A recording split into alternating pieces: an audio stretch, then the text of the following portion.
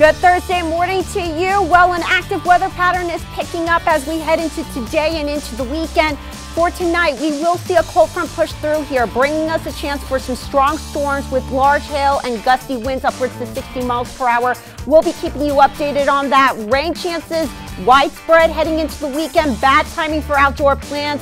We'll keep you updated on that. And then cooler fall-like weather with mostly sunny skies for early next week.